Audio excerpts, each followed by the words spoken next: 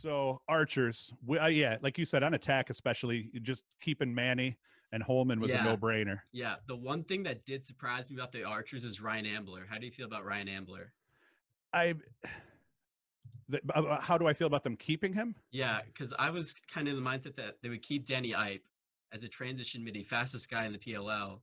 Ryan Ambler's a good player, and I get that he played with Tom Schreiber at uh at Princeton, but I thought Danny Eipp was a better choice there. Just my How opinion. how many guys do you think that went unprotected that'll actually that they'll actually lose? Do you think they lose Eipp for sure?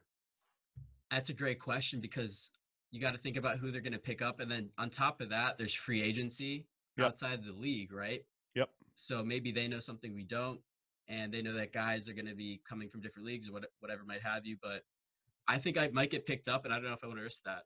That's a And good point. That's a good point. And I saw a couple of scenarios where, like in this case here, they only keep two attack, but they have Pat Yeah. Spencer was exempted. So assuming yeah, Pat I was thinking joins, about that too. Yep. a- and I mean that's a perfect compliment right there. Manny, Mhm. Holman, you've got a bunch of guys that are, you know, Manny and Holman are primarily goal scorers, but they're Right. capable of being 50-50 guys. And Spencer's, you know, he's a 40, 40, 60 guy in terms Exactly. of percentages. Uh, exactly. And Ambler's more of an off-ball player, so he'd probably complement, you know, a Schreiber or a Pat Spencer really well in that aspect. He kind of dodges, like you said, that two-slide dodge. He kind of works off of that a little bit and some crease work.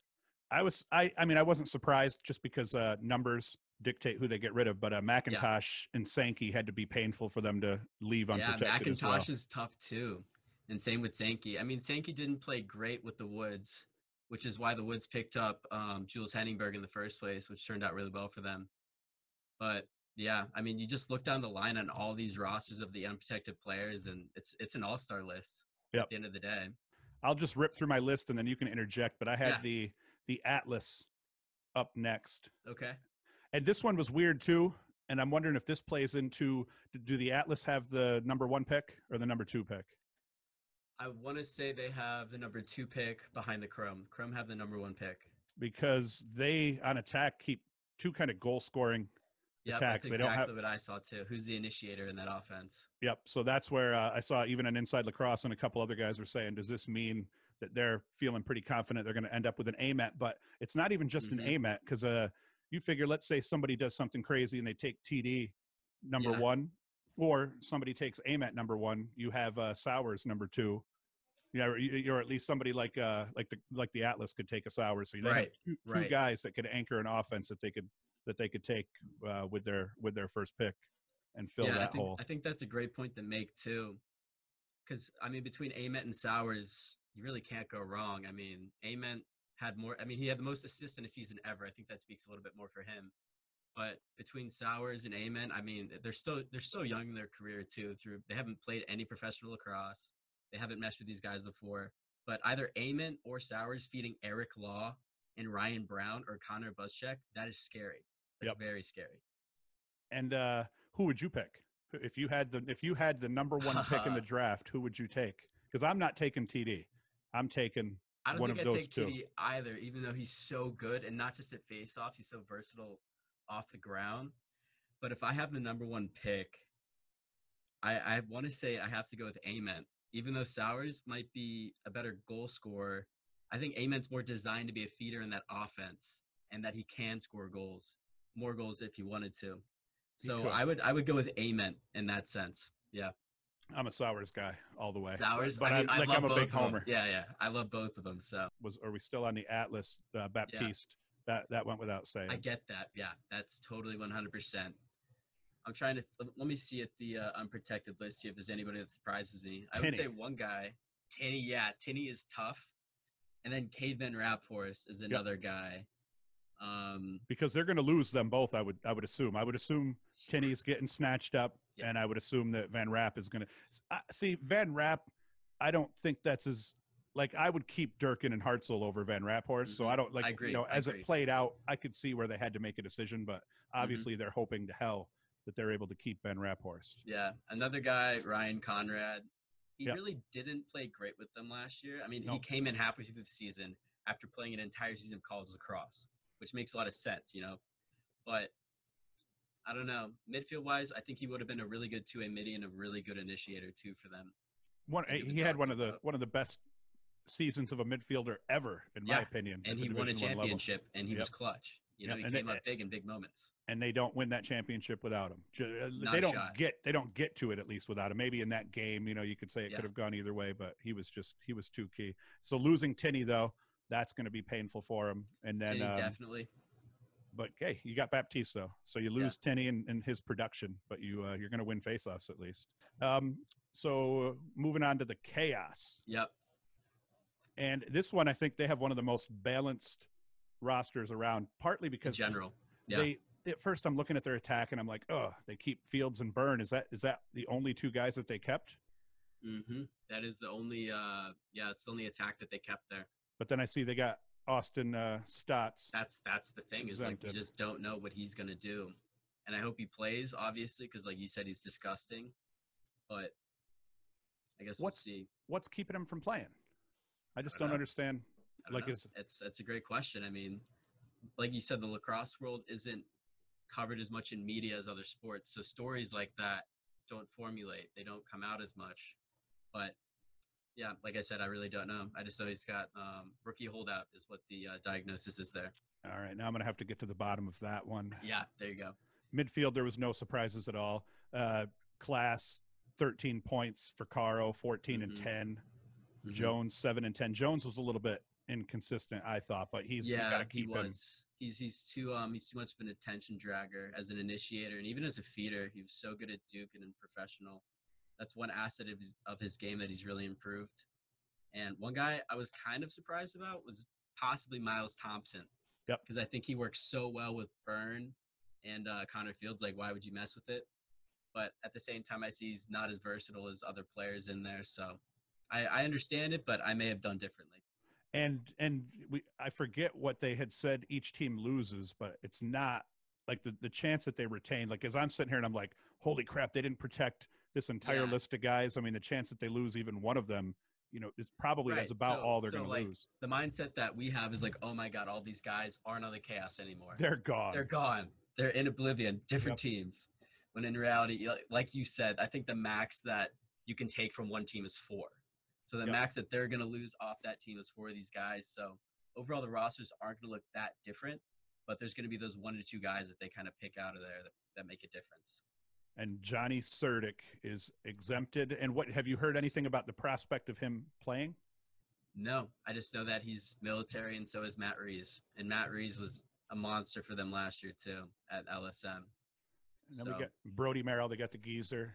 Yep. I don't. Yeah. I, don't- I don't remember what they said the prospect of him being picked up was, but obviously they're going to want to try to keep him, despite yeah, I mean being that's old. good experience. I mean, he's coach at Hill Academy. He's been playing this game for so long. Be a great guy to pick up and just have as a leader in a new organization. I think. Uh, was- do you want to move on to the uh, to the Chrome? Chrome. Yep. Let's do the Chrome.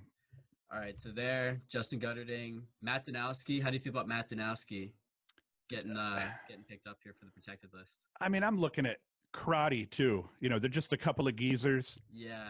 I'm gonna look down the list here and see if there's anybody that surprised me that they didn't keep. I mean, I mean, I- is uh, I can Romar see- Dennis. I can see keeping those two at midfield, and then you got McIntosh and Haas. I mean, they got a, a vets. It's a that, very yeah. veteran, you know, a nice White. deep core. Yep. Plus uh, D- Connor Farrell. D, they were a little weak. Not weak, I wouldn't say, because at first I was like, ah, they just kept Manley and White, and that Yeah. was it. But Brandon Mullins was, uh he's unprotected, right? Yeah, Mullins is unprotected. I wondered if he he because I mean he at one point he was one of the best defenders in pro lacrosse. Yeah, for at least yeah. a year or two. And it looks like they just went with their top midfielder, or not midfielder rather, but defense and Mike Manley. Yep. But that defense was kind of discombobulated last year to begin with, so maybe they just want a clean slate, or they don't think that one of their guys is going to get picked because they didn't have a good defense. Yep. And Wolf and Guterding on uh, attack oh, those are automatic. Yeah, that's a no-brainer. Jordan Mac, Jordan MacIntosh shot 44% from the midfield last year. That's, crazy. That's crazy. outstanding. That's outstanding. Will Haas, two way midi, Joel White, super versatile, short stick, long stick, doesn't matter for him. And then Connor Farrell, their one face-off guy with a bright future. So And it's the goalie they were they were damned. There was really not much they could do. They've got two aged goalies and then an inconsistent uh, third Yeah. keeper. What the Redwoods? yep, Redwoods. Which Not a, attack was easy peasy. Kavanagh, yeah, Garnsey, and Heningburg. I can't believe who, who who did Heningburg play for? beginning of last year? He was crap. Who is he with? Um, wherever he was, he wasn't fitting in though. I'm trying to remember where he got. Tra- oh, he was with the uh, Whip Snakes, isn't that right? Gotcha. Yeah, Whip could be. Snakes, yeah. I Um, declared shenanigans. I felt like that was a little bit of league fixing, getting rid of one of the best Mm. young attackmen in the league, and just Yeah, like, why yeah, the yeah. hell would you get rid of that kid early, early season like that? But like I said, they weren't really utilizing him that much, and they had Sankey at the time, and Sankey wasn't doing too much. I think he was shooting under fifteen percent. Whenever I was looking at the numbers, and as soon as they put Heningburg in, it everything changed for them. It was like a total 180 on offense.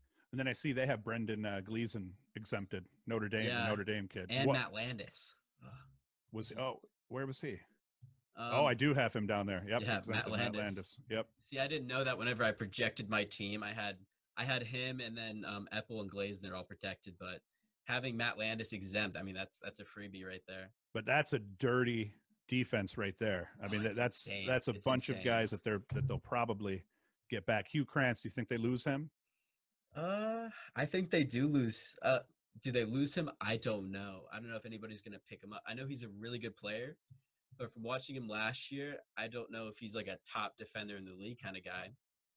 And then if I mean, there's so many other great defenders in here. They might pick him, they might not. But even if they don't, they already have such a solid defense, so they can afford to lose him. I think. And and this is the one we haven't talked about yet, right? Kyle Harrison. Yeah. Did we talk Kyle about Harrison. did we talk about that before we started recording? yeah, before we started, we talked about him a little bit. And like I said, um, three goals in 10 games, no assists, and 10.5% shooting. Yeah, I don't get it. And and I heard I heard somebody make the argument that Salcido played shaky down the stretch that he played tough, but I mean I mean the dude's young and he's Yeah. ripped and more importantly he's a friend of my channel, so I'm all about him. Yeah, I see. I knew you'd be a big Salcido guy too, you know. And I, I actually started playing lacrosse in Fort Myers, Florida. He's a Florida kid, so I love him to death. You know, I love his game. I love everything that he's about. Um, but yeah, like I said, I can't believe that they would give him up because he's going to get picked up. I Yep. don't see Oh, 100%. Yeah, he had 19 points last year, 10 goals, 9 assists. He shot 23%, but that's not, you know, that's twice as much as Kyle Harrison. At the end of the day, if we're talking about protected players, I mean, for value, I think Salcido is way more athletic. He can do way more. The only thing I can see is if they wanted Kyle Harrison to be more of an outside shooter type of guy, they wanted the attackman to initiate more, they wanted him as a step down shooter, and they felt like he might have been better than Salcido. But even that, Mm. I mean, that's such a hot. You can't make that argument. So yeah, Salcido had a cannon. I, I saw Yeah, him score the game two. the Yeah. game winner with no time on the clock at Cornell, what, three or four years ago when Yeah. Hughes played Cornell up there. That's a beautiful insane. place to see a game is uh, Cornell. You watch Syracuse play up there with the sun going down on the hill behind the stadium. Now there's like a big parking garage fucking up the view in there. but Yeah, It's a beautiful, beautiful venue. Um, and then Berg. I would have taken Berg over Harrison, I think. Westberg. Yeah, another guy. But I get Perkovic, then- Adams, Walters. You know, I mean, I get Yeah. those guys, but that Harrison one I was wondering about. And I, I get that they keep Perkovic. That makes obvious sense. Outside shooter, he stretches the defense, opens up the attack. Yeah, the, really the only surprise here. What do- what do you think about uh, Joe Walters being on that list too? As another older member of that team. Is it maybe something they're trying to do here? With I mean, because Walters, I, I presume, you know, still rips still rope and really, yeah, he still rips. But like I said, just getting older. yep.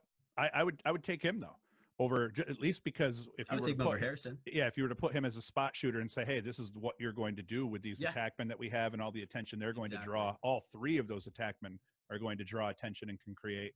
I could see filling it up outside with with shooters, but I, that's I kind figure, of the way I saw it too. And Salcido did have the keys to the offense a good bit last year.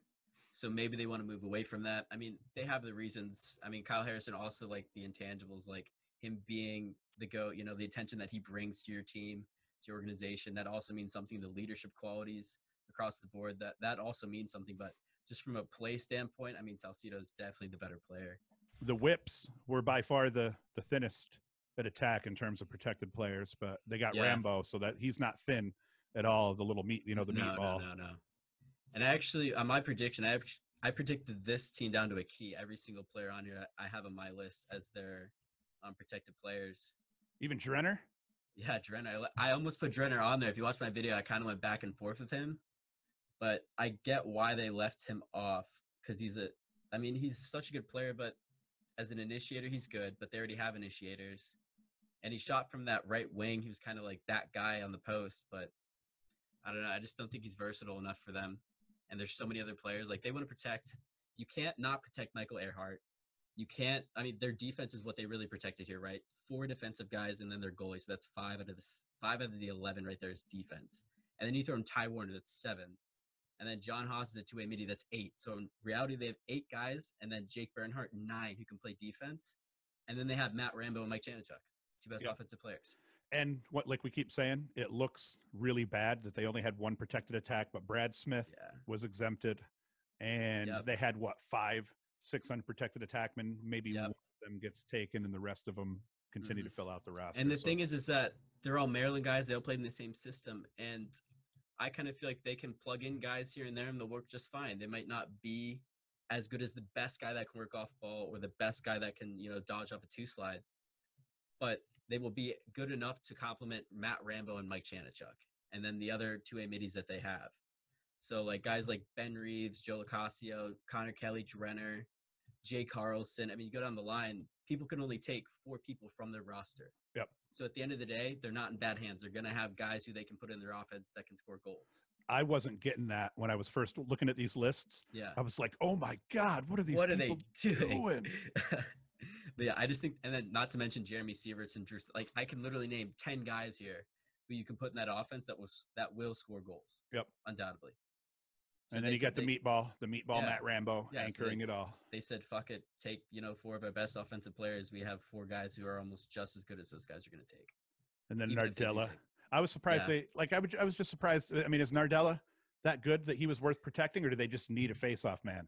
Um, I think part of it is they needed a face-off man, and I think he was decent last year. Let me see if I can find 54, 54 percent. Yeah, he was fifty-four percent. Trevor Baptiste was the league high at 50, or sixty-three.